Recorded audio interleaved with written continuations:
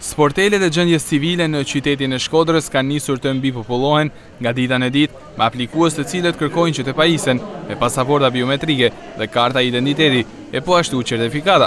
Këto shërbime ofrohen në një mjedis të përbashkët duke krijuar kështu një fluks më të madh të qytetarëve që drejtohen aty sesa në ditët e zakonshme. Me ardhjen e muajit nëntor, shihet një rritje më e madhe e aplikuesve që kërkojnë të pajisen me pasaportat biometrike apo kartat e identitetit.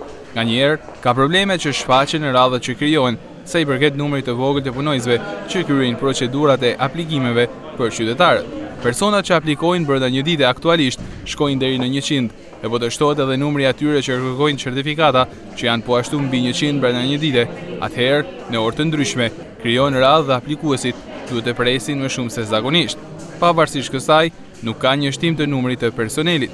Jashtë kamerave, qytetarët shprehin ankesat e tyre, duke thënë se pritja aty është stresuese, sepse duhet të qëndrojnë gjatë derisa të kryejnë procesin e aplikimit.